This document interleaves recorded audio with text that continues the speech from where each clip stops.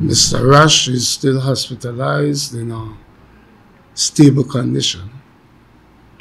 I know that um, investigators responded to another shooting incident a little after 2 on Monday morning that they believe is directly in retaliation to the first incident. I know that our investigators has um, established that this shooting might be drug related. Bearing in mind where the first incident took place, the location. Where was he? Domingo Street, Domingo Cruz Street.